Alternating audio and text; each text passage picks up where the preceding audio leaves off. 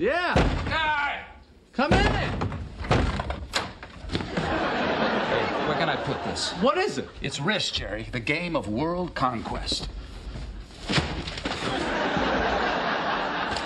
right, that's perfect. Kramer, why do you have to. Hello, Newman. Hello, Jerry. And hello, everyone. Today we're going to be talking about Risk, the game of global conquest.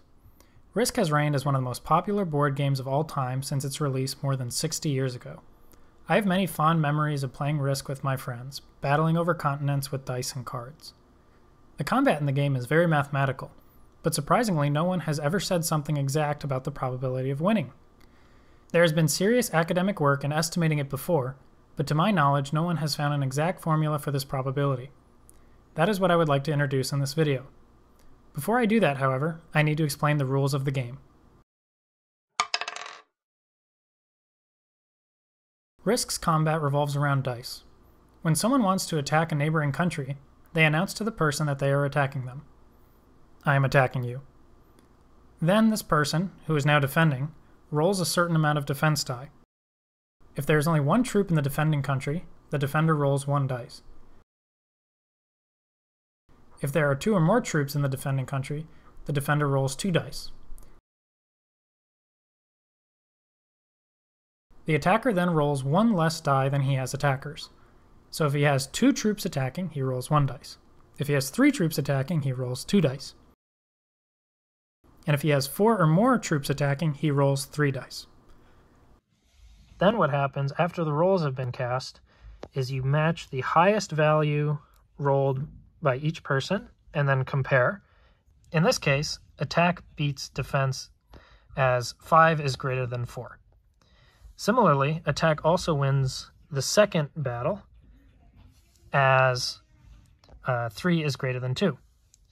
If we had rolled a, if defense had rolled two fours, attack would win the first battle and defense would win the second battle.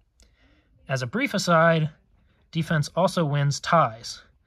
So this is still one win for attack and one win for defense. Let's stick with this case. Attack 1 1. So what we do is we remove one defender, and then defense won the other. So we remove one attacker.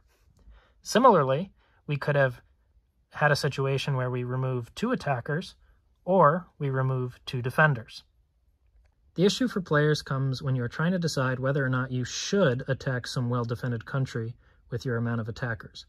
Questions like how likely is it that my 40 attackers beat your 38 defenders frequently arise when playing the game. In this video, I will introduce a, to my knowledge, never-before-seen formula that gives a chance of winning if A attackers attacks B defenders. For this video, let's call the probability that A attackers beats B defenders TAB. To find a formula for TAB, we need to learn about recurrence relations. A recurrence relation is any time a function is defined in terms of itself at other inputs. To beat a mathematical dead horse, the Fibonacci numbers are an example of a recurrence relation. If you are a computer science student, the Fibonacci numbers are likely one of the first things you learn to program. You may have been taught that you get the Fibonacci numbers by starting with 0 and 1, and then you add the last two terms in the sequence together to get the next one. This can be written as a recurrence relation. If we call the nth Fibonacci number fn, we write that fn is fn minus 1 plus fn minus 2, and f naught is naught and f1 is 1. Notice that we need to know the previous n minus first and n minus second Fibonacci term to compute the nth, using this relation. Something a computer science student may not have been taught is that the nth Fibonacci number can be arrived at directly. By using a mathematical tool called a generating function, one can arrive at this very odd-looking formula for the nth Fibonacci number.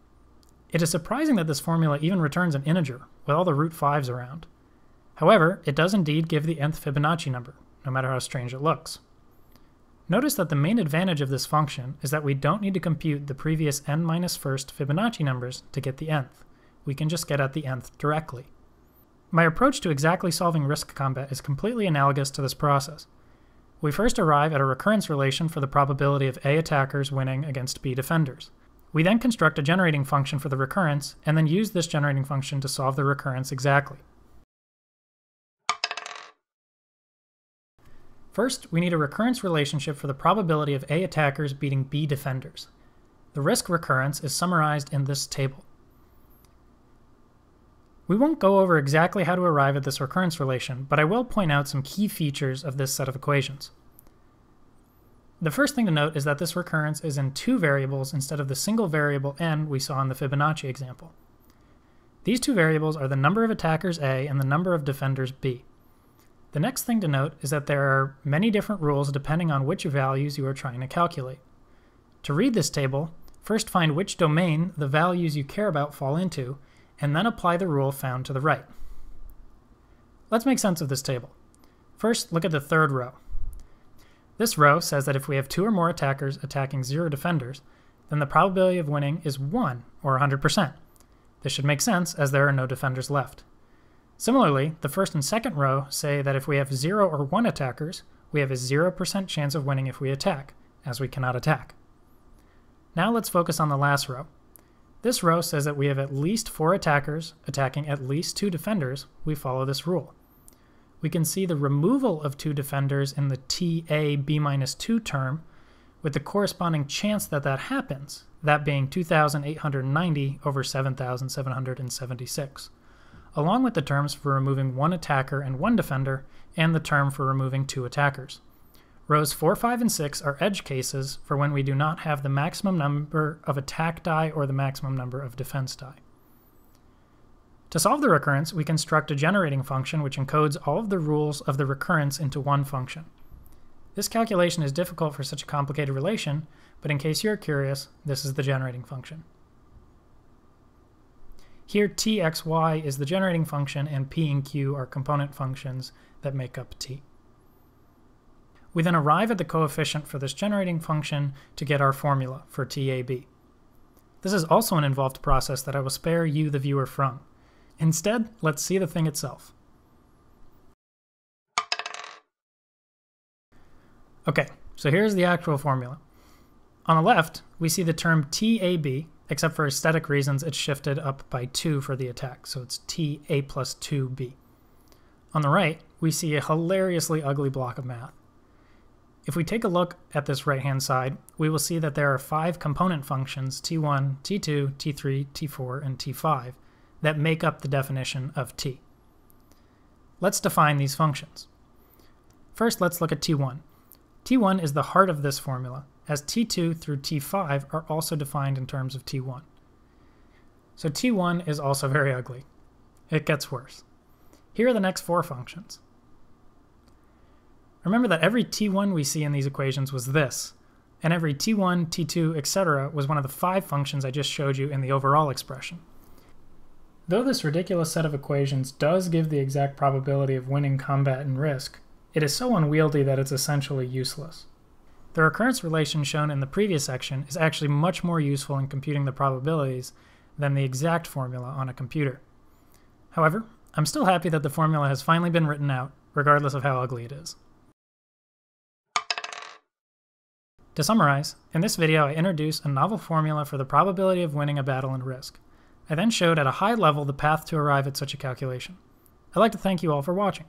If you enjoyed the video, feel free to leave a like or a comment, and have a nice day. Thanks for having me over, guys. Yeah.